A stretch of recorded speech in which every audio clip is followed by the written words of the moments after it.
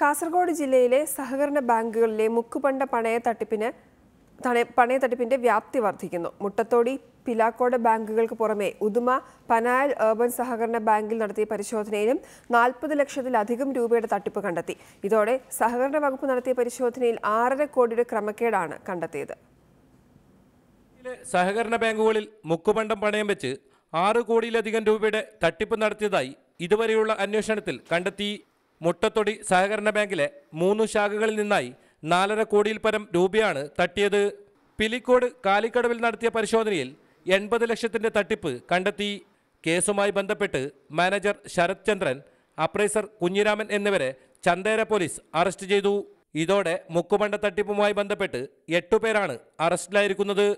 ഏറ്റവും ഒടുവിൽ Uduma Panayal urban service സൊസൈറ്റിയിൽ നടത്തിയ പരിശോധനയിൽ നാൽപ്പത്തിനാല് ലക്ഷത്തിന്റെ തട്ടിപ്പാണ് കണ്ടെത്തിയത്. ആയിരത്തി ഇരുന്നൂറ്റി മുപ്പത്തെട്ട് വായ്പാ ഇടപാടുകളിൽ പന്ത്രണ്ടെണ്ണത്തിലാണ് ക്രമക്കേട് നടന്നത്.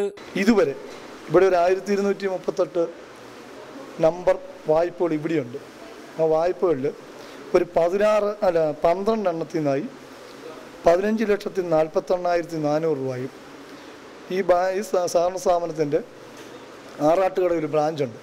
ആ ബ്രാഞ്ചിൽ നിന്ന് പതിനാറ് വായ്പകളിലായി ഇരുപത്തേഴ് ലക്ഷം ഉൾപ്പെടെ നാൽപ്പത്തിരണ്ട് ലക്ഷത്തി നാൽപ്പത്തെണ്ണായിരത്തി നാനൂറ് രൂപയുടെ മുക്കുകൊണ്ടമാണെന്ന് ഇപ്പോൾ വ്യക്തമായിട്ട് തെളിഞ്ഞിട്ടുണ്ട്. ജില്ലയിലെ മറ്റു സഹകരണ ബാങ്കുകളിലും പരിശോധന തുടരുകയാണ്.